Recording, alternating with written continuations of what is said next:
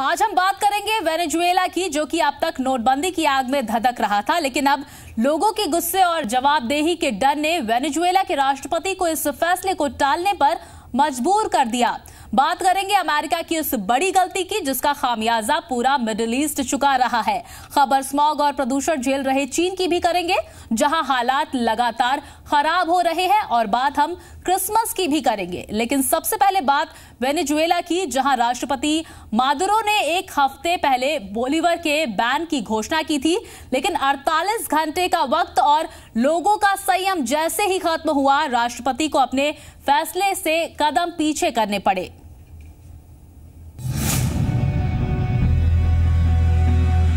आर्थिक मंदी से जूझता एक देश, जहाँ दाने दाने के लिए मोहताज थी जनता। सरकार का एक फैसला।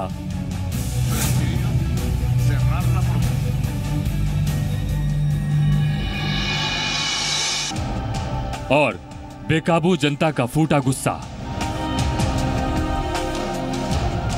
फिर तय हुई जवाबदेही।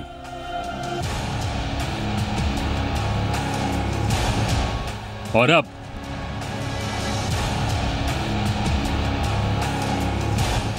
टल गई नोटबंदी। Yo he decidido prorrogar. मैंने वेनेजुएला सीमा के तहत सौ बॉलीवर के सर्कुलेशन कमर्शियलाइजेशन और लीगल एक्टिविटी की मान्यता को 2 जनवरी 2017 तक बढ़ाने का फैसला किया है। Hasta el 2 de enero del 2017. Desde este momento, Venezuela के राष्ट्रपति निकोलस मादुरो ने एक हफ़्ते पहले किए अपने ऐलान से कदम पीछे कर लिए।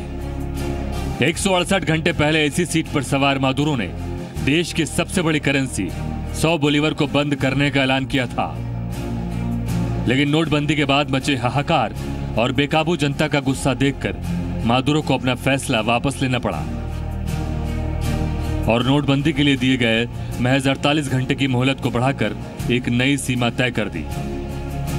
prorrogar मैंने वेनेजुएला सीमा के तहत सौ बॉलीवर के सर्कुलेशन कमर्शियलाइजेशन और लीगल एक्टिविटी की मान्यता को 2 जनवरी 2017 तक बढ़ाने का फैसला किया है। 2 de enero del 2017. Desde este momento, ठीक एक हफ़्ते पहले ही 11 नवंबर 2016 को दाने दाने को मोहताज वेनेजुला में आर्थिक संकट से निपटने के लिए राष्ट्रपति निकोलस मादुरो ने देश की सबसे बड़ी करेंसी सौ बोलीवर को बंद करने का ऐलान कर दिया था। लेकिन देश के हालात बेकाबू हो गए और सड़कों पर हिंसा भड़क गई। दर्जनों दुकानें लूटी गईं। कई लोगों को जान तक गंवानी पड़ी जिसके बाद हालात काबू में करने के लिए मादुरो को एक्सटेंशन की याद आ गई। 2 जनवरी तक ब्राज़ील और कोलंबिया के साथ बॉर्डर को बंद रखने का फैसला किया गया है ताकि सुरक्षा इंतज़ाम किए जा सके और हालात को संभाला जा सके।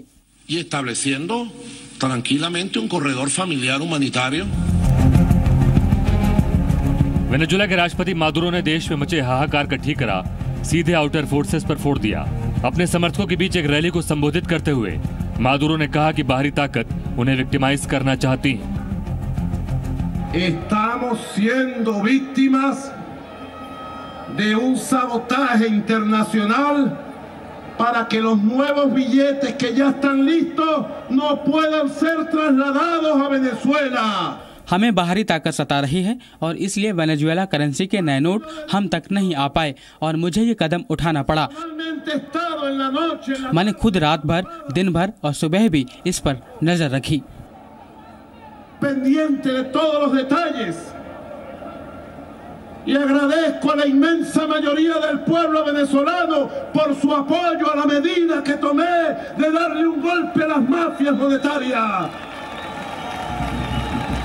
Pido el apoyo de todo el pueblo. Esto es en función del interés de toda la patria, de toda la economía. दरअसल वेनेजुला की जनता कई दिनों से पैसों पैसों के लिए तरस रही है न बिजली न पानी दूध के पैकेट तक के लिए लोगों को बैग भर के करेंसी देनी पड़ रही है अब क्रिसमस और नया साल नज़दीक आ रहा है ऐसी हालत में जब मादुरो ने सबसे बड़ी करेंसी ही बंद कर दी और मोहलत भी महज दो दिन की दी तो लोगों का गुस्सा फूट पड़ा। हंगामा खड़ा हो गया और जवाबदेही राष्ट्रपति की तय कर दी गई। जवाबदेही का फंदा जैसे ही मादुरो के गले अटका तो बेकाबू होते हालात को काबू में करने के लिए मादुरो ने रोल बैक का कदम उठाया। और अब नोटबंदी की नई सीमा, यानी 2 जनवरी 2017 तय हुई देखने वाली बात यह होगी कि ये नई लिमिट वेनेजुला की तस्वीर बदल पाएगी या नहीं? International desk India twenty four seven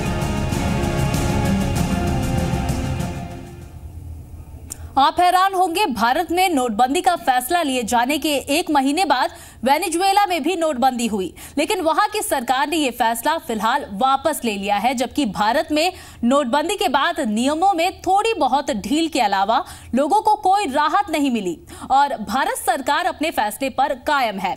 आखिर दुनिया के दो देशों के बीच ऐसा अंतर क्यों है?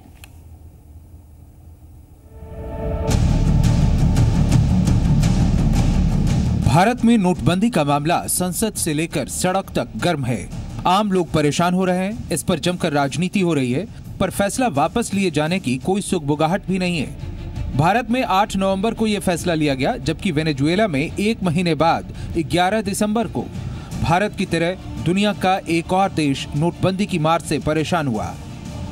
पर वहाँ जल्द ही फैसले को एक्सटेंशन देना पड़ा, क्योंकि दोनों देशों में आम लोगों की प्रतिक्रियाओं में बड़ा अंतर है। भारत में जहाँ लोग परेशानी झेलकर भी विरोध के लिए सड़कों पर नहीं दिखते, यहाँ विपक्षी पार्टियाँ ही विरोध की भूमिका निभा रही हैं। वहीं वेनेजुएला में आम जनता ने सरकार के नोटबंदी के फैसले पर न सिर्फ़ अपना तेज विरोध दर्ज किया, बल्कि सरकार की जवाबदेही तय करने की दिशा में दबाव भी बनाया। दुनिया के इन दो देशों में नोटबंदी के बाद के हालात में इतना अंतर क्यों, ये जानना काफ़ी दिलचस्प है। आइए अब आपको भारत और वेनेजुएला के बीच इकोनॉमिक और डेमोग्राफिक फ्रंट पर जो अंतर है, वो दिखाते हैं। दरअसल हिंदुस्तान से पंद्रह हज़ार किलोमीटर दूर साउथ अमेरिका कॉन्टिनेंट में बसा है वेनेजुएला। भारत की तरह वेनेजुएला में भी नोटबंदी का फैसला लिया गया, लेकिन इसके बाद से वेनेजुएला के लोग कितने परेशान हुए, इसका अंदाज़ा आप इसी से लगा सकते हैं कि यहाँ पर दूध तेरह हज़ार रूपए लीटर, एक अंडा नौ सौ रूपए और एक किलो आटा एक हज़ार तीन सौ पचास रूपए में मिलने लगा। लोगों के बीच इसको लेकर मारपीट तक की नौबत आ गई। लोगों ने फैसले को जमकर कोसा। वो सिर्फ़ सौ बॉलीवर ही ले रहे हैं जो एक पागलपन है। ऐसे में समझ नहीं आ रहा है कि क्या करें। कम से कम भारत में फ़िलहाल तो ऐसे हालात नहीं हैं। लोगों को रोज़मर्रा के कामों में काफ़ी परेशानी हो रही है पर कीमतों को लेकर यहाँ वेनेजुएला जैसे हाल नहीं है। फिर आखिर वेनेजुएला के आर्थिक हालात इतने गंभीर क्यों हुए? वेनेजुएला की अर्थव्यवस्था कच्चे तेल पर निर्भर है। कच्चे तेल के दाम 100 डॉलर प्रति बैरल के उच्चतम स्तर से गिरकर 28 डॉलर तक पहुँच गए थे। जिससे वेनेजुएला को भारी आर्थिक नुकसान हुआ। वहीं दो साल पहले तक वेनेजुएला का कच्चे तेल का निर्यात 75 बिलियन डॉलर था, जो अब कम होकर मात्र 27 बिलियन डॉलर तक रहने का अनुमान है। वहीं वेनेजुएला की करेंसी बोलीवर, जिसकी एक साल पहले एक डॉलर की कीमत 175 बोलीवर थी, वो अब बढ़कर आठ बोलीवर तक पहुँच गई है। देश में राजनीतिक अस्थिरता के चलते भी अर्थव्यवस्था पर असर पड़ा है। विपक्ष वेनेजुएला के राष्ट्रपति निकोलस मादुरो को हटाना चाहता है। मादुरो ने बिगड़ते आर्थिक हालात के लिए विदेशी ताकतों को जिम्मेवार बताकर मई में देश में आपातकाल की घोषणा भी की थी। यही कारण है कि वेनेजुएला को अपने नोटबंदी के फैसले को फ़िलहाल कुछ दिनों के लिए वापस लेना पड़ा, जबकि भारत में अभी वेनेजुएला जैसे हालात नहीं हैं। दोनों देशों के बीच के कुछ आंकड़े देखिए। भारत की जनसंख्या जहाँ करीब सवा अरब है, वहीं वेनेजुएला की जनसंख्या मात्र साढ़े तीस लाख। भारत में पुराने 500 और हज़ार के नोट को बंद किया गया है, जबकि वेनेजुएला की सरकार ने देश में 100 बोलीवर की करेंसी को बंद किया था। भारत की अर्थव्यवस्था विश्व की तीसरी सबसे बड़ी अर्थव्यवस्था है, जबकि वेनेजुएला की अर्थव्यवस्था इस वक्त संकट के दौर से गुजर रही है। इसके अलावा कुछ मामलों में दोनों देशों के हालात में समानताएँ भी हैं। एक और सख्त कदम जैसे मोदी सरकार ने इसे आतंकवाद और भ्रष्टाचार के खिलाफ जंग कहा, लेकिन कई बैंकों के कर्मचारियों ने जनता तक पहुँचने वाली करेंसी भ्रष्टाचारियों के हाथों तक पहुँचा दी। उसी तरह वेनेजुएला भी बैंकों में फैले भ्रष्टाचार से परेशान है। वेनेजुएला के राष्ट्रपति के मुताबिक, हाल में कराई गई हाई लेवल इन्वेस्टिगेशन में ये उजागर हुआ था कि उसकी सौ बोलीवर की करेंसी अरबों की संख्या में अंतर्राष्ट्रीय माफिया कार्टेल ने कोलंबिया और ब्राज़ील जैसे देशों में छिपा कर रखा था। वेनेजुएला के राष्ट्रीय बैंक भी इस काम में अंतर्राष्ट्रीय माफिया संगठनों का ही सहयोग कर रहे थे। बहरहाल, महज साढ़े तीस लाख की जनसंख्या वाले देश में नोटबंदी के बाद हो रही परेशानियों के लिए वहाँ के लोगों ने सीधे तौर पर राष्ट्रपति को जिम्मेदार ठहराया और इतना दबाव बनाया कि राष्ट्रपति मादुरो को नोटबंदी के फैसले को महज एक हफ़्ते बाद ही वापस लेना पड़ा, जबकि भारत में वेनेजुएला से कुछ अलग हालात हैं। साथ ही भारी परेशानी झेलने के बावजूद लोगों ने इसका मुखर विरोध नहीं किया। यही कारण है कि भारत में नोटबंदी के 40 दिन पूरे हो चुके हैं और यहाँ इसे वापस लेने की कोई सूरत बनती नहीं दिख रही। इंटरनेशनल डेस्क इंडिया 24/7 बेशक वेनेजुएला में भारत की तर्ज पर नोटबंदी की गई थी, लेकिन दोनों देशों के हालात अलग अलग हैं। वेनेजुएला ऑयल रिच कंट्री है, लेकिन क्रूड की अंतर्राष्ट्रीय कीमतों में भारी गिरावट से देश में इकोनॉमिकल क्राइसिस पैदा हो गई है। वेनेजुएला की अर्थव्यवस्था बीते कई सालों से मुश्किल के दौर में है। यहाँ की मुद्रा बोलीवर में बीते कुछ वक्त से भारी गिरावट देखी जा रही है।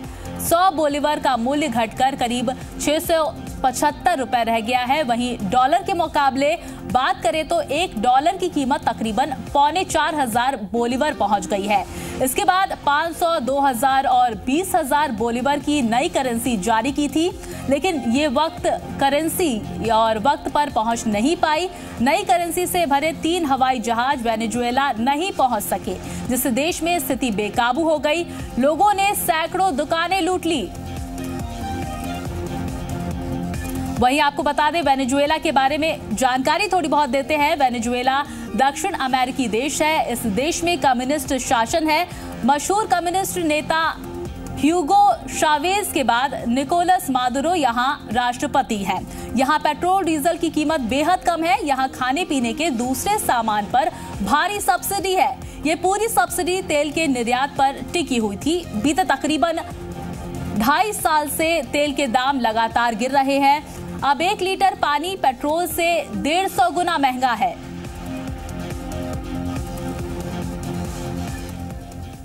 और अब बात अमेरिका की उस गलती की, जिसका खामियाजा पूरा मिडिल ईस्ट भुगत रहा है। इराक, सीरिया के हालात के लिए गुनहगार अमेरिका है। ऐसा इसलिए कहा जा रहा है क्योंकि सद्दाम हुसैन ने इसकी वार्निंग अमेरिका को पहले ही दे दी थी। जी हाँ, इराक के पूर्व तानाशाह सद्दाम हुसैन को इंटरोगेट करने वाले सीआईए के पूर्व अधिकारी ने अपनी बुक में यह खुलासा किया है। सद्दाम ने पहले ही अमेरिका को चेतावनी दी थी कि इराक उससे नहीं समझ सकता। देखिए रिपोर्ट। मिडिल ईस्ट में फैली अशांति के लिए कौन जिम्मेदार है? इराक, सीरिया के हालात के लिए गुनाहगार कौन है? अगर आज इराक में सद्दाम की सत्ता होती तो क्या आईएसआईएस जैसे खूंखार आतंकी संगठन का ऐसा खौफ होना मुमकिन था। क्या अमेरिका का इराक पर हमला और सद्दाम को मौत के घाट उतारना बड़ी भूल थी? इन सवालों के जवाब अमेरिकी सेंट्रल इंटेलिजेंस एजेंसी सीआईए के पूर्व अधिकारी जॉन निक्सन ने अपनी नई किताब में दिए हैं। निक्सन की book debriefing the president, the interrogation of Saddam Hussein में कुछ ऐसे वाक्यों का ज़िक्र किया गया है, जिसने फिर से सद्दाम हुसैन के अंजाम और अमेरिका की मंशा पर सवाल खड़े कर दिए हैं। सीआईए के पूर्व अधिकारी निक्सन की बुक जल्द ही बुक स्टॉल्स पर अवेलेबल होगी। लेकिन उनकी इस किताब के कुछ ऐसे अंश सामने आए हैं, जिनको पढ़कर लगता है कि इराक को चलाने और पूरे मध्य पूर्व में स्थिरता कायम करने के लिए तानाशाह सद्दाम हुसैन की ही ज़रूरत थी। निक्सन ने अपनी किताब में उस हकीकत को उकेरा है, जिसे उन्होंने खुद जिया है। यानी निक्सन ने उस वक्त का ज़िक्र किताब में किया है, जब तानाशाह सद्दाम को अमेरिका की गठबंधन वाली सेना ने गिरफ़्तार कर लिया था। और हिरासत में उससे अमेरिकी खुफिया एजेंसी ने पूछताछ की थी। निक्सन सीआईए की उस टीम का भी हिस्सा थे। निक्सन की माने तो व्यक्तिगत तौर पर वो सद्दाम को बुरा आदमी मानते हैं, लेकिन उसका सम्मान भी करते हैं। क्योंकि उसकी तानाशाह सल्तनत के दौरान न उसकी गद्दी पर आँच आई और न ही इराक पर। 2003 में सद्दाम की हुकूमत खत्म करने के लिए अमेरिका ने इराक पर हमला कर दिया था। तब से लेकर आज तक ये मुद्दा विवादास्पद बना हुआ है कि क्या सद्दाम को वहाँ से हटाकर अमेरिका ने सही किया। निक्सन ने अपनी किताब में लिखा है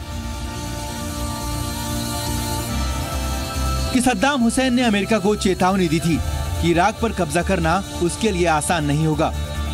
दूसरी ओर अमेरिकी सरकार और विशेषज्ञों को ये काफ़ी आसान काम लग रहा था। निक्सन ने लिखा है कि एक बार हिरासत के दौरान जब उन्होंने सद्दाम से पूछताछ की थी तो उन्होंने साफ़ कहा था कि तुम इराक पर हमला कर सफल नहीं हो पाओगे। इराक पर शासन करना आसान नहीं होगा। बुक के मुताबिक, सद्दाम ने कहा कि अमेरिका इसकी ज़ुबान और इसकी भाषा नहीं जानता। इसका इतिहास भी नहीं पता। अमेरिका को अरब का दिमाग भी पढ़ना नहीं आता। निक्सन के मुताबिक 9/11 हमले में शामिल होने के आरोपों से सद्दाम ने सिरे से खारिज कर दिया था। बल्कि सद्दाम को उम्मीद थी कि हमले के बाद इराक और अमेरिका के रिश्ते सुधर जाएँगे और दोनों देश मिलकर आतंकवाद का खात्मा करेंगे। किताब में निक्सन ने सद्दाम और इराक के हालात पर और भी बहुत कुछ लिखा है। अपनी राय देते हुए निक्सन ने लिखा है कि उन्हें उस समय सद्दाम की बात पर यकीन नहीं हुआ था। लेकिन अब उन्हें लगता है कि सद्दाम सही कह रहे थे। उनका यह भी मानना है कि इराक जैसे कई समुदाय में बटे देश को सही तरह से चलाने के लिए सद्दाम जैसे क्रूर शासक की ही ज़रूरत थी। निक्सन ने तो यहाँ तक लिखा है कि सद्दाम के राज में आईएसआईएस जैसे किसी आतंकवादी संगठन का उभरना और सफल हो पाना नामुमकिन था। निक्सन की इस बुक में और भी कई बड़े खुलासे हैं, जिस पर अब इंटरनेशनल पॉलिटिक्स हावी हो रही है। बहरहाल अब सबको इंतज़ार है debriefing the president the interrogation of Saddam Hussein by John Nixon के मार्केट में आने का। International desk India 24/7